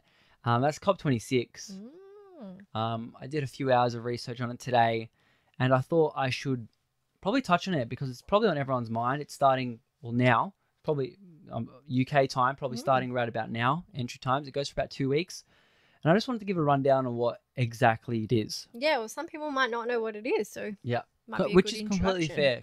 You know, especially now, every few months you might hear COP26. Um, so for nearly three decades, the UN has been bringing together almost every country for global summits called COPs, which stands for Conference of the Parties. So in that time, within a few decades, climate change has gone from being a fringe issue to a global priority. And this year will be the 26th annual summit, given the name COP26. So you've probably heard of the Paris Agreement, which was signed in 2015. Um, in that agreement, countries had to commit to providing national measures to cut down their carbon emissions. And those targets were called Nationally Determined Contributions, or NDCs. Now, has the Paris Agreement worked? No, not really. And they honestly knew it wouldn't. They actually put a mechanism in the document of the agreement that countries signed to say that there has to be a meeting every five years to update measures based on recent evidence on how the country is going. So the commitment laid out in Paris did not come close to limiting global warming to 1.5 degrees. And the window for achieving this is obviously closing every single minute. Now, the decade after 2030 will be crucial. And as momentous as Paris was, countries must go further to keep the hope of holding temperatures rates to under 5 point, uh, sorry, 1.5. 1.5 degrees. That's right. So they actually figured out that if we followed the Paris Agreement, we would actually result in a three degrees Celsius of warming, which is which would obviously, as we can assume, disastrous. No, like no human life on this planet. Now, the current NDCs, including those that have been newly submitted or revised by the US, the EU, and the UK, and more than 100 others, are still inadequate. So, more than 100 other nations have got NDCs that will lead us towards disaster. In fact, if we followed the NDCs currently, it would result in a 16% increase in emissions as opposed to the promise of a 45% cut. So it's definitely going the wrong way. So COP26 is incredibly important. It's a way to correct these this course that's not going the right way. It's it's taken a turn for the worse from the Paris Agreement. So COP26 is there to make sure that it can get essentially turned in the right direction. So there's a lot of good news and a lot of bad news with with COP. Obviously, when we're looking at the big emissions, countries like China. Now, the Chinese president Xi Jinping, I can't pronounce his name, but Xi Jinping is actually not even going. So he wasn't going to go for a long time, and now he's just he's doing a video call in. Mm. Um, That shows a lot of commitment. shows heaps of commitment, and that's the worst thing because China, like not talking per capita, but as a nation, China's the largest emitter. Um, so we we we want them to make huge change. So t- China is actually a decade behind its 2060 target at the moment. so on top of that, China has plans to increase its greenhouse gas emissions by 2030. So it's going just in the complete wrong direction. So a, a lot of these nations come come there with different plans to reduce their emissions. So a lot of countries are looking to electric vehicles. A lot of countries are looking towards nuclear power, um, which is something I looked into a bit and I found it very confusing. So I need to have someone on the show who's who's an expert in that field. But essentially, it's just more energy produced in a smaller land. If you know anybody, can have any suggestions? Yeah, for nuclear energy. Apparently, it is a solution that France is looking at quite quite significantly. Um, but reading up on a lot of COP26 and a lot of the news that's going on, some journalists really had me on edge reading their stuff. It was just it was just hilarious. I was reading this random paper. I think it was called it was Japan Forward. That was the name of this um, paper, and I put this in quotes. Western countries are working harder toward decarbonization, but the motive is not just to prevent glo- global warming. If anything, it is an energy energy shift away from fossil fuels and an attempt to become a stronger world power through a new industrial revolution. End quote. So I read that and I thought, so you're essentially wording this and phrasing this in a way that says, if you want to reduce your carbon emissions, you are power hungry, insensitive, and you just want to monetize on a new revolution so you have power over other nations. And I just thought it was a very interesting piece of journalism. What a perspective. I just, I don't know how you can think like that. Hmm. Hey, you're leaning towards green energy, you just want to be the best of the best. Like that was the perspective of this journalist. So I just, I just found that really interesting. But yeah, that's good old Japan. Japan was on one of the lists that actually is trying to go against the IPCC. Right. right? So a few countries, like there was a leaked document, which was they're releasing a new, I guess, uh, edition of the IPCC report, and there was a leaked document that Greenpeace uncovered, which includes tens of thousands of comments, um, including some pretty stupid things from our good old Morrison government, that rejected the findings in the IPCC report that coal needs to be phased out. Now, again, this wasn't Australia. This was a group of companies, a group of countries. I could refer to them as companies. You could. Um, it, it just pretty much means that this government is tied to fossil fuels and, and other ones like They're in their pocket, not the other way around. The government is in their pocket yeah. and they're stuck. Another country that really didn't like the IPCC report is Brazil. Um, obviously, because the report mentioned being plant based, Yeah. Brazil being one of the largest exporters of cattle. So a lot of this COP26 is is really one of the last straws to try to make us lean towards a good direction.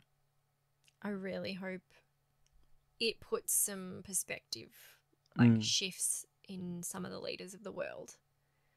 And did we find out if they're going with a plant based? I actually didn't find out. No, we'll have to. Well, you know what? We'll find out soon. They might have promised it, but it might not happen. Mm. So the talk actually happens on the 12th of November. There's chats in between. So for the next monthly paradigm, I'll make sure to do some research on that Yeah. one, find out for everyone. Definitely. But it's really exciting. COP26. I'm I'm I'm more excited than I am cynical for this. Yeah, I think it's it's bringing so much awareness around.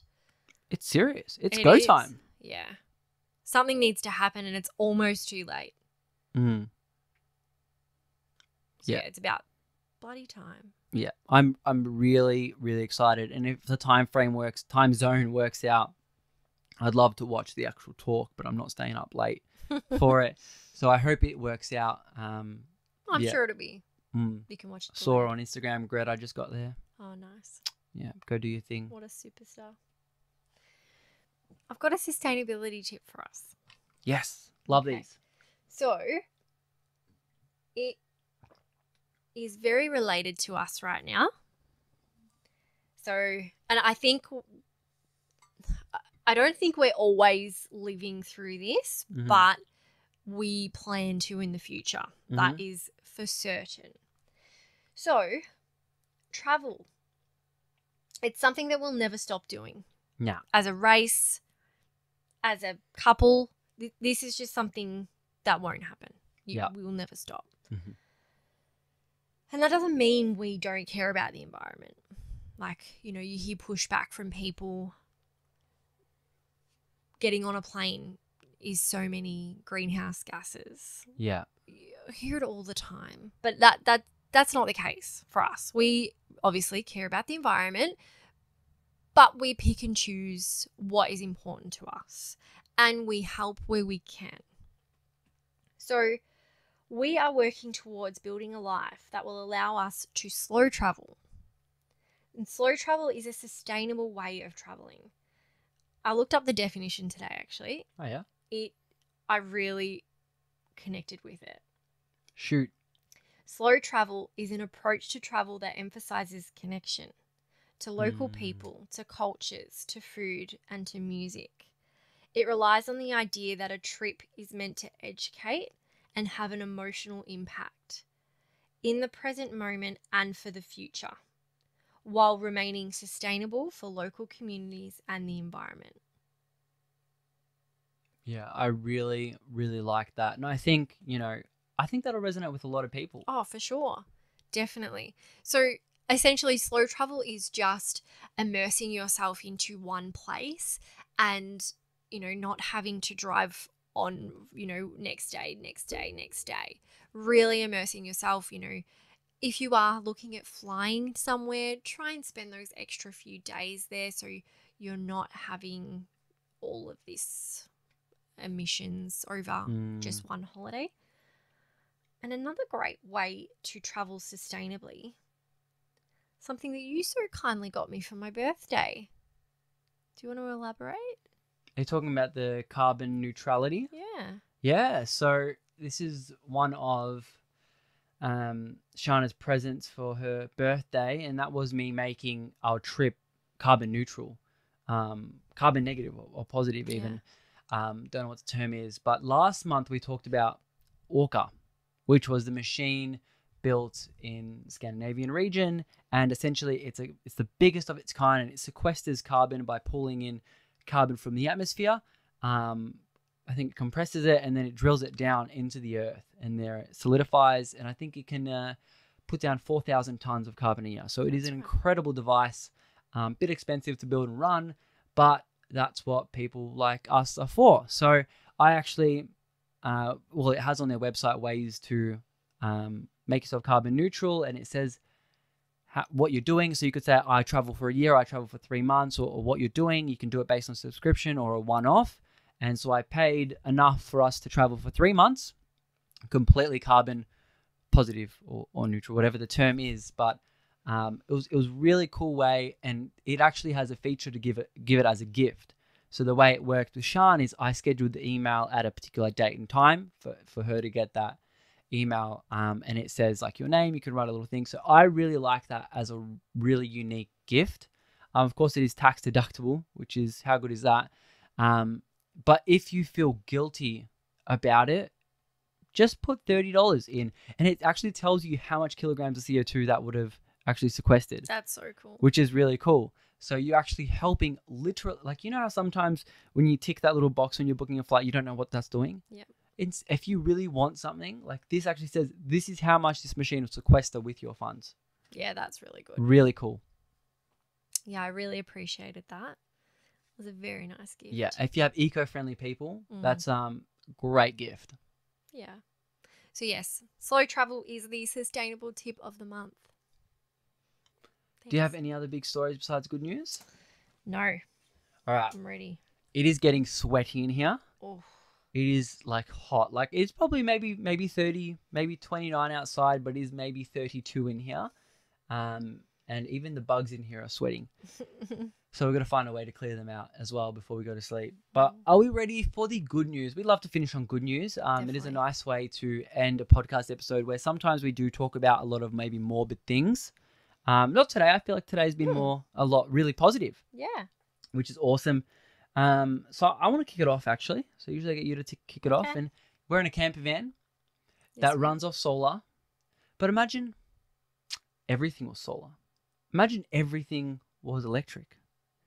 Imagine we didn't have to fill up fuel. It is a thing.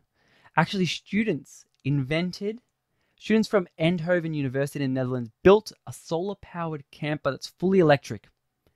Now, we're talking 22 students built this in one year. What superstars? Yeah. It's called the Stella Vita. And I'll put up a photo in the middle here. It looks pretty freaking cool. Um, it's designed for two passengers, has a kitchen, sitting area, bed, shower, toilet, and it uses solar energy alone.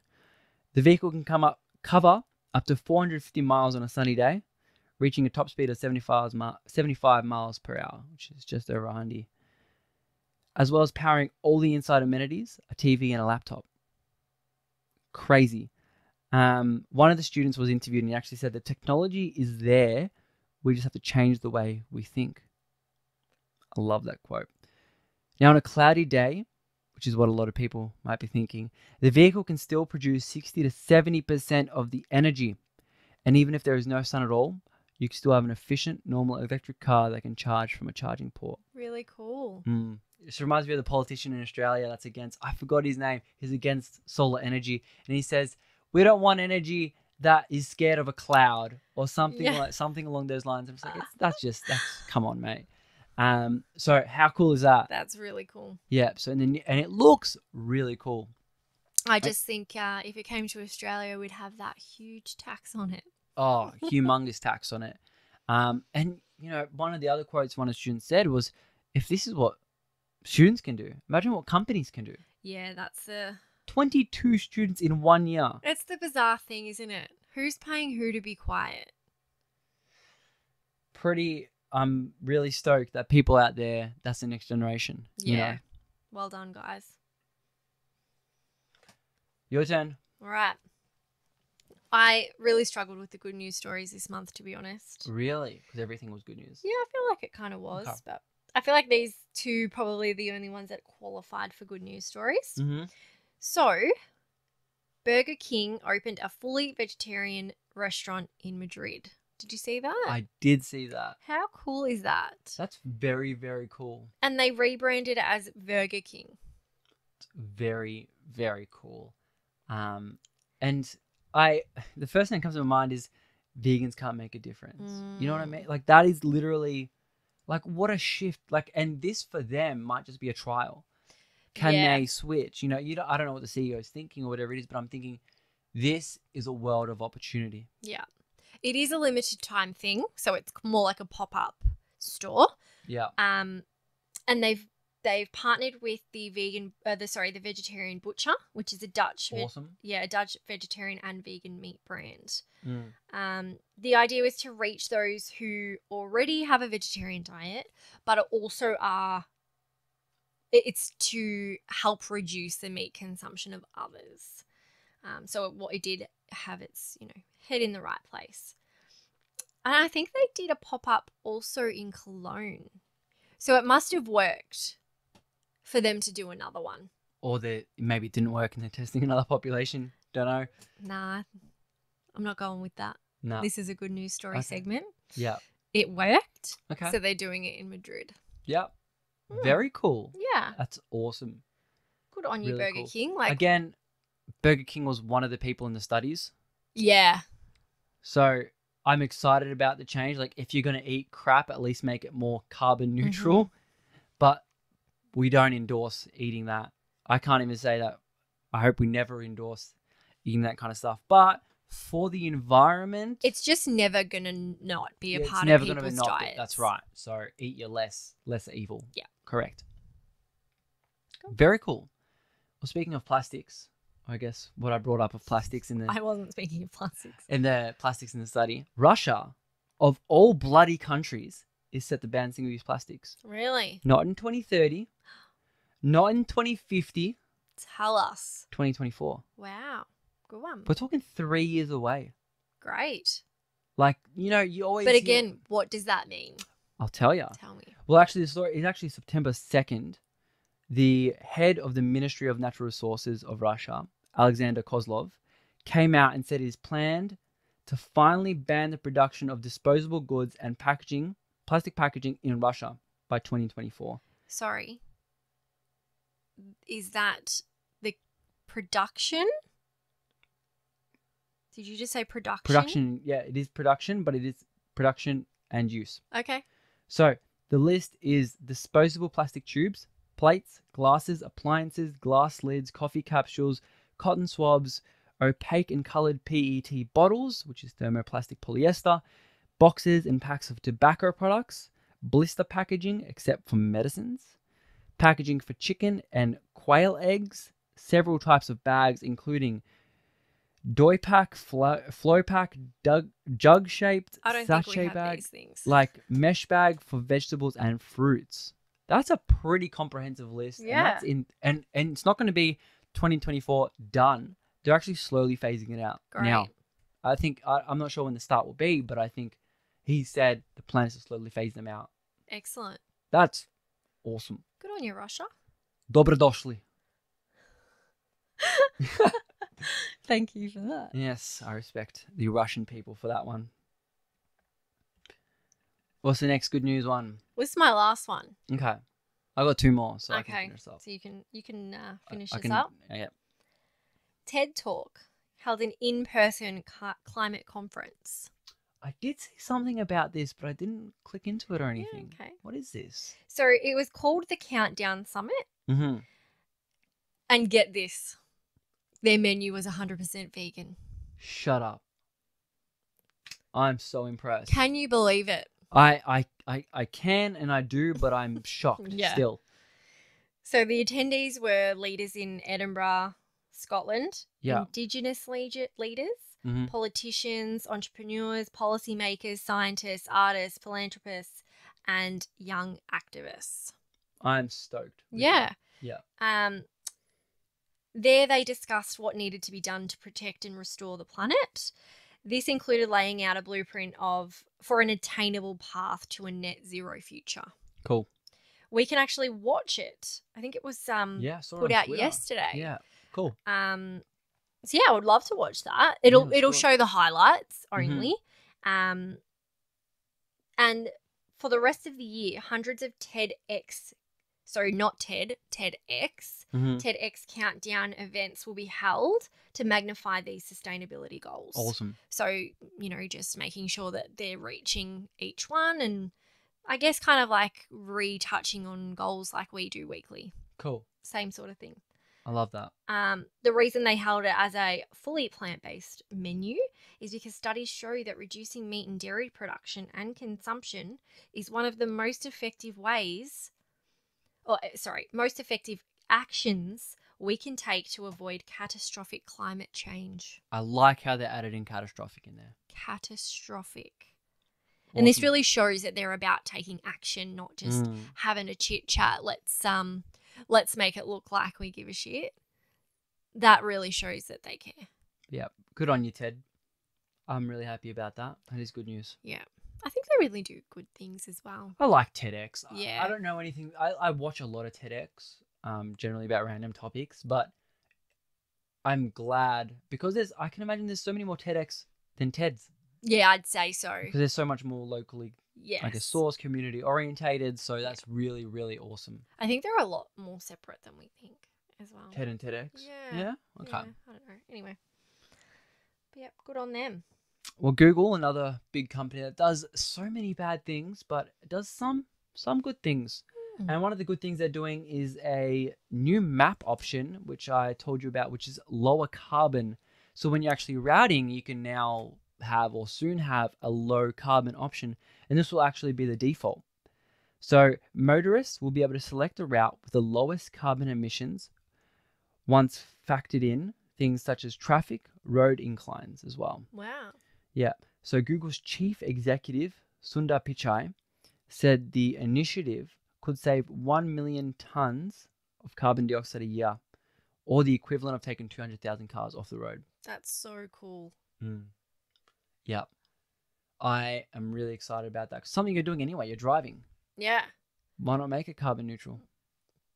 I'm really interested to like look at our routes and Mm, see how would it differ? Yeah. It might be, you know, a lot of the times the same because it's Oh, the for sure. fastest route, Yeah. you know, so it's got to equate. And would you, I'd imagine freeways would be more carbon friendly. I, I, would don't know. imagine I- just because you're going a imagine- hundred and you're Yeah. not using as much fuel. Yeah.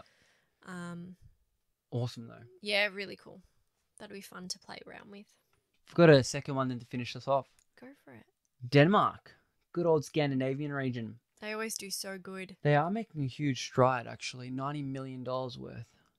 So, a lot of the time we talk about how many, how much money um, agribusinesses make. But what about for the plant people? And that is where the money is going. So, $90 million will be available for at least five years to farmers who produce plant based foods. A fund of 11.7 million USD will be pro- provided annually from 2022 to 2030 to support the plant based transition of food. Oddly enough, big plant ag business got its way. Finally, the big plant, the big broccoli, Love that. got its way. And that's so funny that you mentioned that because when we were on our Daintree tour, when we were talking to that lovely Adelaide couple, they asked why we were vegan. And we said purely because of the rainforests and the environment. We want to sustain it. Mm. And the first thing that she said was, was, um, what about the cattle farmers though? They've got no other option. Mm. And they do. They So- really do. They do. And look, not to say that it's not hard to Oh, transition, it would be incredibly difficult. Absolutely. Um, but there are options out there. There are people that are helping, and there are subsidies you can still get access to. Yeah. Um, and a lot of the time, you'll be much better off, especially your land. Um, but this actually came about because this is what Danish people want. Great. Um, so a survey was done, and six out of ten Danes agreed that Denmark should take the lead in terms of being the best at producing plant-based foods. And that is what needs to take place for this to happen. This big funding.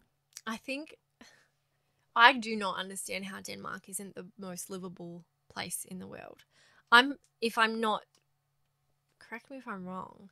I think they have free education, free healthcare. I have no idea.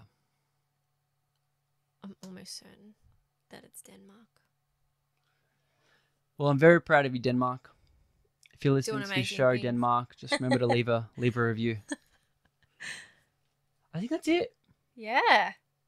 good news, bad news, all the news. I'm very excited. This is our longest monthly paradigm. We're going for two hours now. Oh my gosh. I know. I hope we've entertained people, and I hope you learned a lot.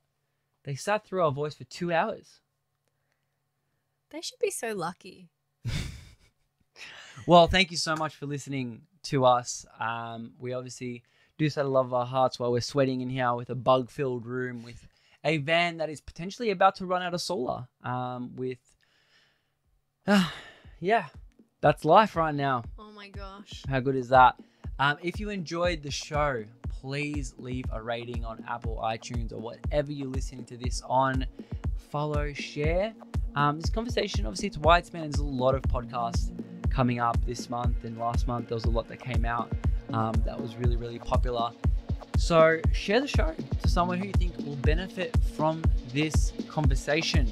Send it to someone that doesn't believe in climate change. Yeah, Specifically, you surely you'll know somebody. Send this to them. And if you're that person that received this message because you don't believe in climate change, now you know. And reach out. Yeah, reach out. we'd love help. to know Yeah. why. Why do you not believe in climate change? am, am I a racist? Is that what that is? That's funny. Um, no, really appreciate you guys. If you're on YouTube, like, comment, subscribe, all the good, good stuff. And we'll, we'll speak to you next month. Thank you so much for co-hosting with me, Sharna. Yeah, thank you for bringing the news. It wouldn't be as lovely of a show without you. Nah, I'm just about the right amount. Wrap it up. Wrap it up. All right, until next time, stay happy, eat plants. Peace.